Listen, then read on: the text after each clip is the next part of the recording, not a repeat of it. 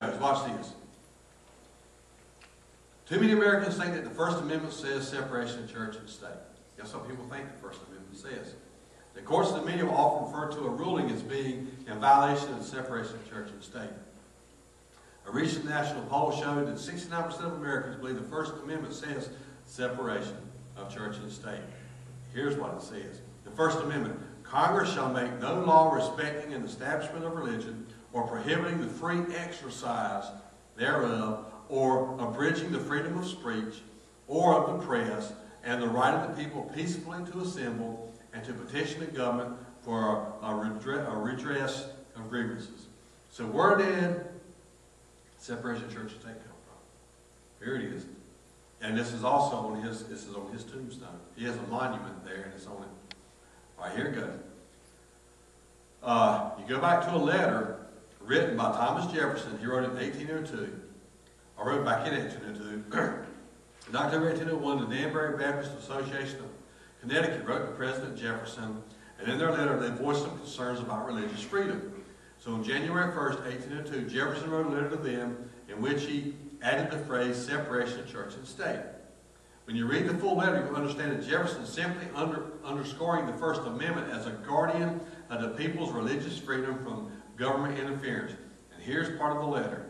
I contemplate with sovereign reverence that the act of the whole American people which declared that their legislative legislature should make no law respecting an establishment of religion, prohibiting the free exercise thereof, thus building a wall of separation between church and state. What the people are trying to do is they're trying to keep God out of the government. And what he was trying to do was keep the government, or keep the church out of the government. And what he was trying to do was keep the government out of church. There's a big difference.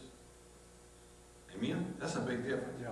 And so what he was saying is, he was even uh, telling the clergy, y'all run for office. We need you up here. Okay? So it's really kind of, it's kind of bad that they would use that. So the First Amendment uses a, a uh, Jefferson simply quotes the First Amendment, then uses the metaphor, the wall, to separate the government from interfering with religious practice.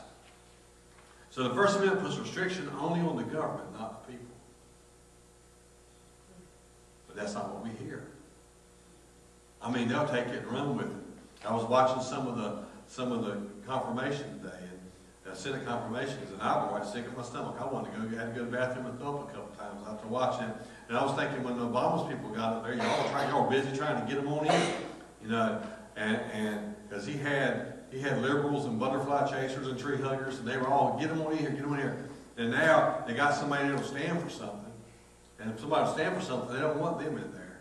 And so so uh, uh, just pray because as at this point, I believe these guys, I believe they're all getting confirmed. But if they don't, then we want the right one in, in the spot anyway. But I've never seen a cabinet quite like this. Before the cabinet's just kind of, were, the last cabinet was like a puppet. Okay? And this cabinet's not a puppet. He ain't got a bunch of puppets. I haven't watched, you ever seen George, George C. Scott play Patton? Movie Patton? If you have never seen that movie Patton, you need to watch it because it is an awesome movie. And uh, let your grandchildren sit on your knee and tell them you got a shovel. General General Patton, General Patton's army was, I mean, they, they, they could take care of business. All right.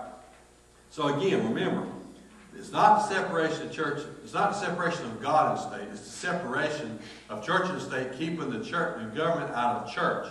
But even right now, there's places in their states that are looking at pastors' outlines in the United States of America.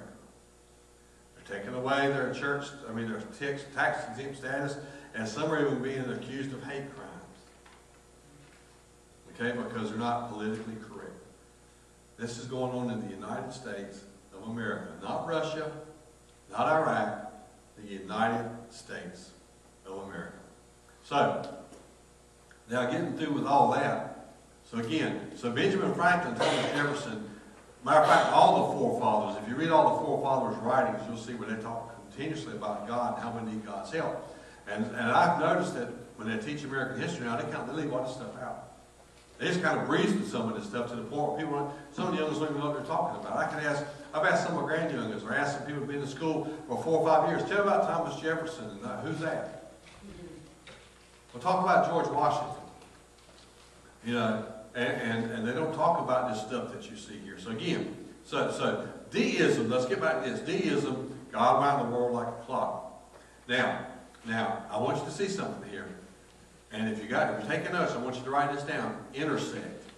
E